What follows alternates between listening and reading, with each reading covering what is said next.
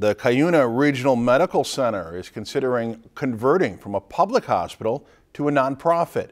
The idea was prompted back in 2011 when the physicians integrated into the hospital. One of the conditions of the integration was converting to a 501c3 nonprofit. In service for over 51 years, the organization has grown into a $10 million net revenue healthcare corporation. The CRMC CEO believes converting to a nonprofit hospital would provide more flexibility for this growing organization.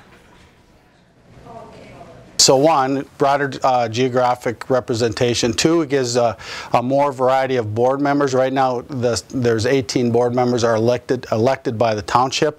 This will uh, be able to appoint directors based on their skills and abilities. Third thing is allow us to invest in di different investment vehicles that can help uh, contribute to the bottom line. So right now, we only can invest in T-bills, which are very low, low uh, interest rate. But if we have significant cash in the bank, it can contribute dramatically dramatically to our mission and help help with that process. If the proposal passes, the board also plans to put a primary care physician and a specialist on the governing board.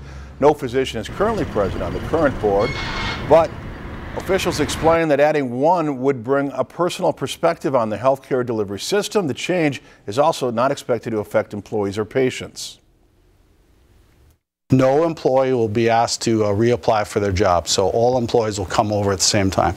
Same for the patients. The patients shouldn't feel any anything different. It's the same face. It just gives, again, the hospital more flexibility to do different things. And then same with the physicians. If all physicians will come to the new corporation, the same bylaws will be used, but they'll have a greater voice on the strategic direction of the community. Governing Board has set a public hearing for April 20th at the Heartwood Senior Living in Crosby. Following the meeting, the board plans to take the issue up for a vote and make a decision on whether to continue as a public or nonprofit organization. If you've enjoyed this segment of Lakeland News, please consider making a tax-deductible contribution to Lakeland Public Television.